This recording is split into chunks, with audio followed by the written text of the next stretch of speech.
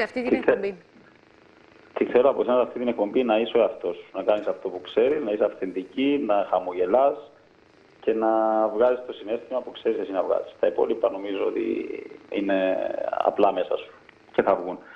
Ε, Το δώρο τώρα αυτό πότε νομίζω το ότι- έφτια- Νομίζω ότι είναι η στιγμή για να, για να μπει όλη η οικογένεια μέσα τώρα.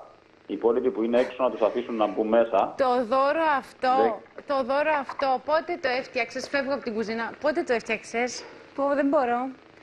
Ε, Δεν μπορώ. απλά μην κάνετε κοντινό στο πρόσωπο της Αριάδνης, σας παρακαλώ μόνο.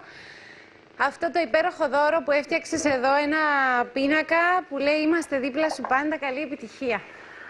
Ε, το έχουμε φτιάξει εδώ και λίγο καιρό και περιμέναμε την κατάλληλη στιγμή. Νομίζω ήρθε. Ε, καλό ξεκίνημα να έχετε, να πάνε όλα τέλεια. Και Ε. το βράδυ μην αργήσει πολύ για να απολαύεις την Αριάδνη ξύπνια.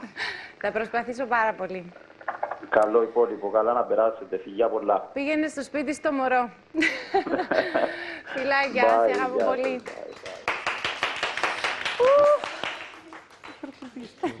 Τώρα τι να πω.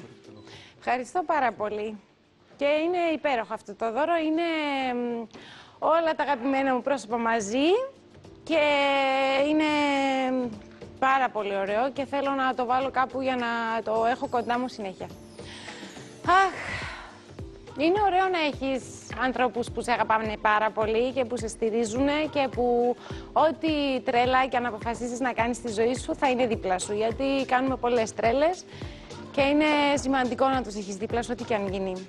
Και δεν θέλω να δείξουμε άλλο. Αυτό το πίνακα είναι απλά ένας πίνακας με όλη μου την οικογένεια, τα ξαδέρφια μου, τις ξαδέρφες μου, τα, την κόρη μου, τους γονείς μου, το θείο μου, τον αδερφό μου. Αχ, το βαφτιστικό μου, τον Έχθορα.